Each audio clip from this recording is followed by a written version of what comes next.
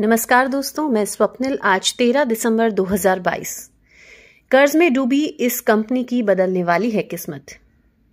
कर्ज में डूबी।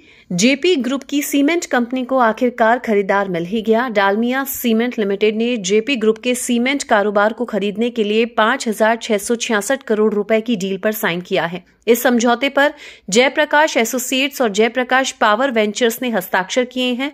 बता दें कि इस खबर के बाद जयप्रकाश एसोसिएट्स और जयप्रकाश पावर वेंचर्स दोनों के शेयर 10 परसेंट तक चढ़ गए।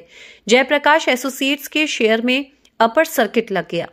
जेपी ग्रुप की कंपनियों ने एक विज्ञप्ति में कहा कि विनिवेश में 9.4 मिलियन टन की कुल क्षमता वाले सीमेंट प्लांट 6.7 मिलियन टन की क्षमता वाली क्लिंकर संपत्ति और 280 मेगावाट क्षमता का थर्मल पावर प्लांट शामिल है।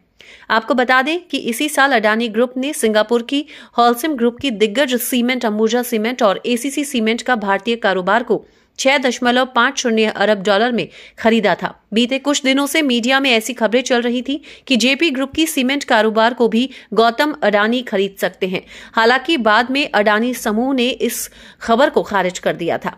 दोस्तों, अजय एस्ट्रो मनी गुरु देश का पहला एस्ट्रो फाइनेंशियल डिजिटल चैनल है, जो बयालीस कमोडिटीज और पाँच मार्केट पर लगातार अपडेट विश्लेषण देता है। चैनल को लाइक और सब्सक्राइब करना बिल्कुल न भूलें।